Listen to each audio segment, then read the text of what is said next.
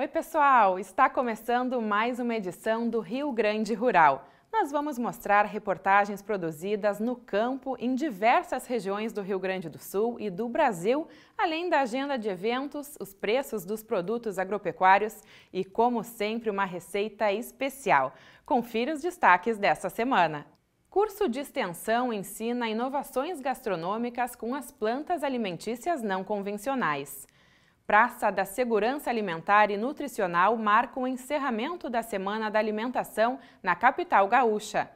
Em Alvorada, alunos de escolas municipais participam da primeira aventura no horto. No quadro Janela Rural, a história dos imigrantes europeus que trouxeram as primeiras variedades de uvas para o Brasil. E na receita da semana, um docinho diferente à base de feijão branco. Você é o nosso convidado para assistir o Rio Grande Rural, produzido pela Emater Ascar Gaúcha.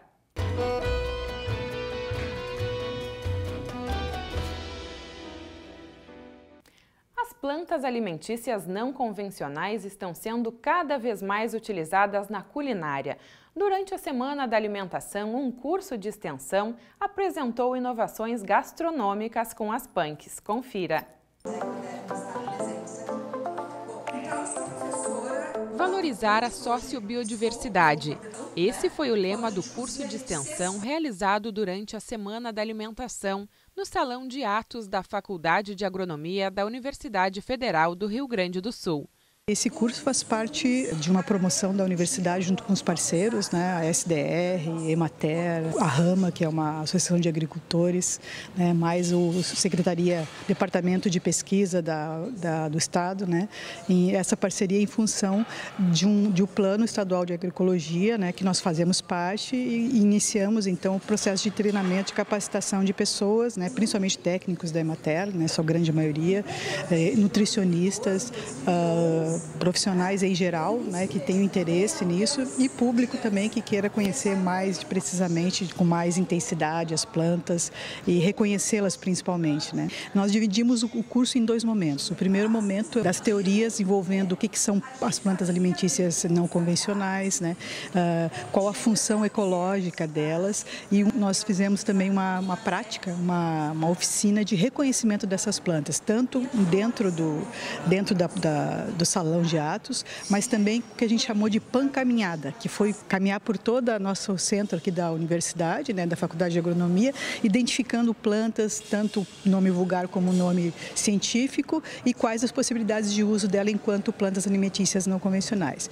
E no segundo momento, que é o dia de hoje, né, foi a parte de receitas, né, que plantas que nós estamos usando, para que, que elas servem e quais as possibilidades culinárias. Nós tivemos presença uh, de, de agricultores que trabalham trabalham com, com essas plantas, fazendo alimentos. Uh, também a Universidade Federal trouxe uh, também a seu processo que uso de punks na culinária, na formação de alunos de gastronomia e também a presença de restaurantes que estão em Porto Alegre usando, fazendo parte né, dessa, desse uso dessas plantas também. Curso faz parte do Plano Estadual de Agroecologia e Produção Orgânica, o PLEAPO, coordenado pela Secretaria de Desenvolvimento Rural, Pesca e Cooperativismo. Um dos objetivos desse plano é o fomentar os sistemas agroecológicos e, e sistemas orgânicos de produção.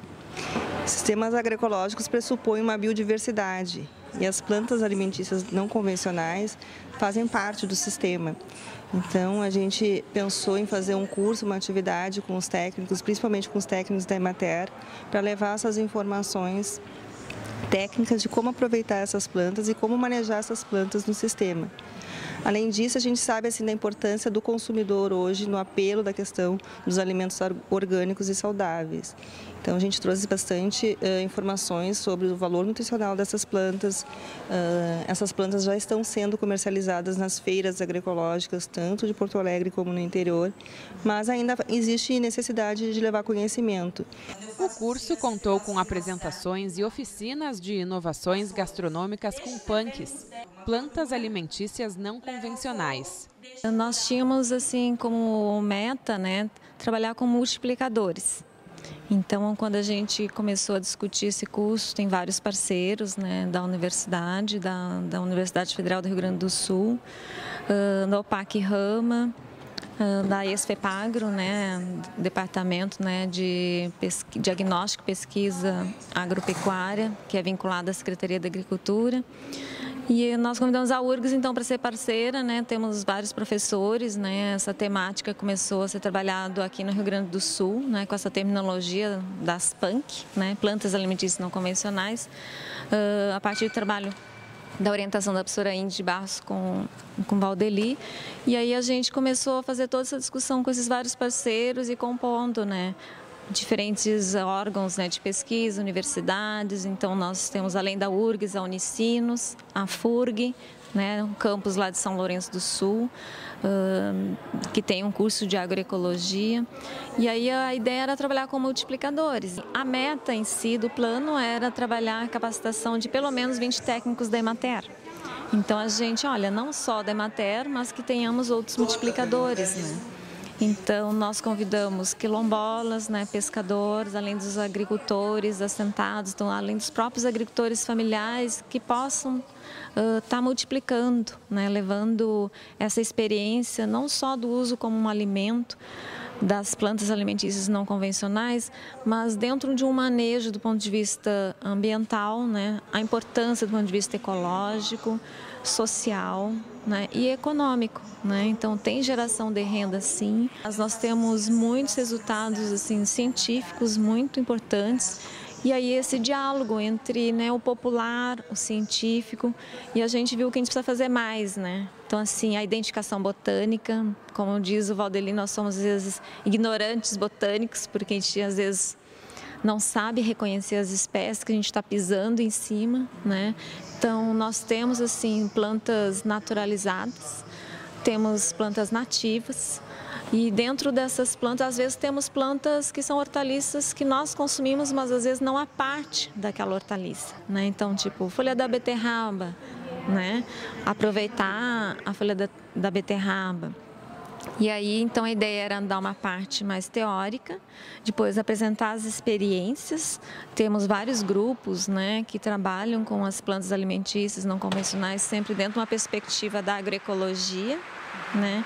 E a partir daí, então, como que essas plantas são inseridas dentro de um sistema de produção né, de base ecológica, mais sustentável e que pode gerar renda. Então, além das frutas nativas, né, às vezes é a parte da planta que não é tão conhecida para ser utilizada, as flores. Muitas vezes as flores a gente né, só pensa do ponto de vista ornamental, né, mas também as flores como alimentícias também então, tudo isso a gente veio né, com esse curso para estar tá divulgando cada vez mais e lançamos mais sementes, né, para que a gente tenha então mais pessoas né, conhecendo a temática e estar tá divulgando. Né. Esse tema das plantas alimentícias não convencionais tem uma importância muito grande e eu destacaria três aspectos. Primeiro, um aspecto é, nutricional, à medida que são plantas que têm uma riqueza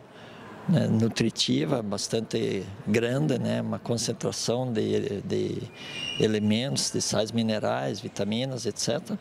Tem um aspecto é, ecológico, à medida que a, a, o uso e o resgate dessas plantas contribui para a preservação e a valorização da nossa biodiversidade.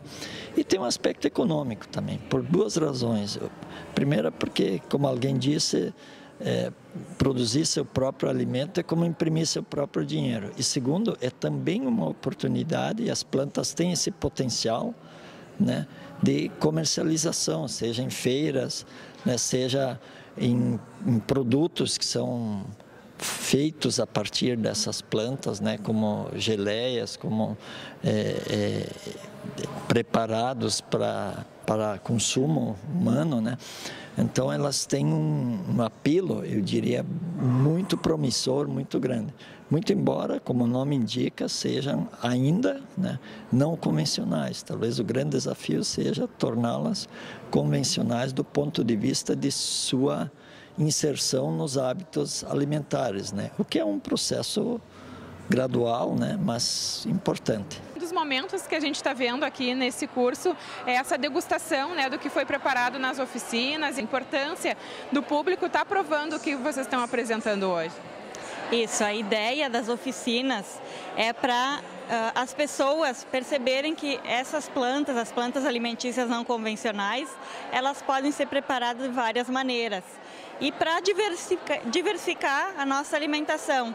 Claro que dentro né, dentro do que é produzido localmente. Essas plantas geralmente elas são plantas espontâneas, né, e muitas vezes as pessoas nem sabem que tem uma importância nutricional que pode ser utilizada na alimentação.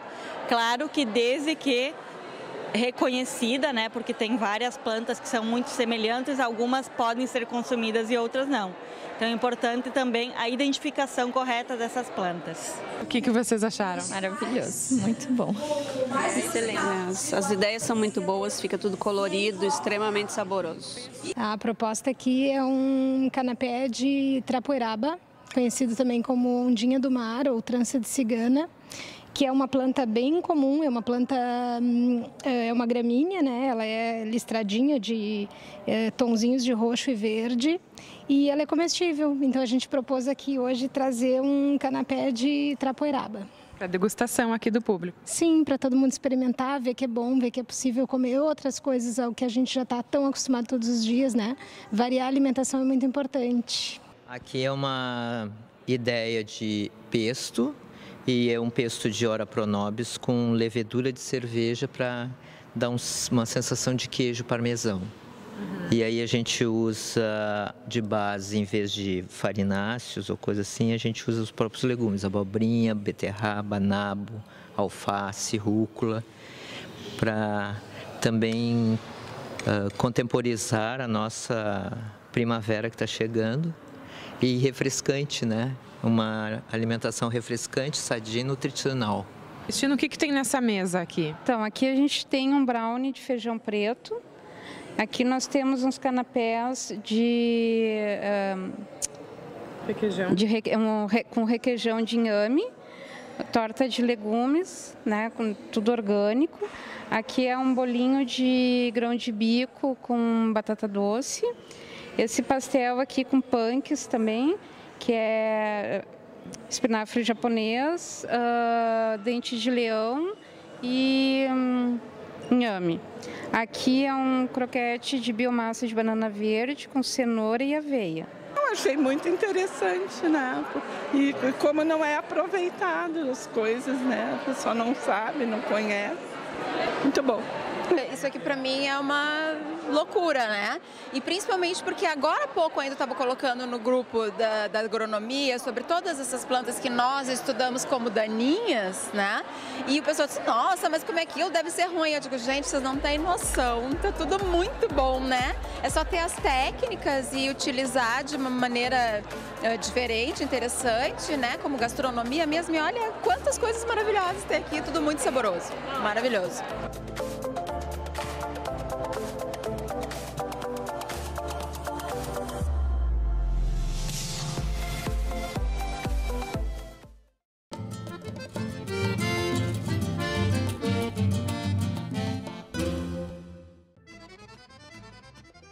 O saco de 50 quilos de arroz em casca foi comercializado esta semana a R$ 43,43, com queda de 0,78%.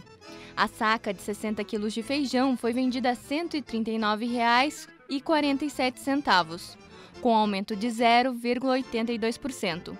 O milho saca de 60 quilos foi negociado a R$ 36,45, com redução de 1,30%. A saca de 60 quilos de soja foi comercializada a R$ 78,21, com queda de 1,08%. O sorgo granífero, saca de 60 quilos, foi vendido a R$ 28,39, com baixa de 1,83%. E a saca de 60 quilos de trigo foi comercializada esta semana a R$ 39,23, com redução de 2,36%. Próximo bloco, Praça da Segurança Alimentar e Nutricional marca o encerramento da Semana da Alimentação na capital gaúcha. E em Alvorada, crianças participam da primeira aventura no Horto.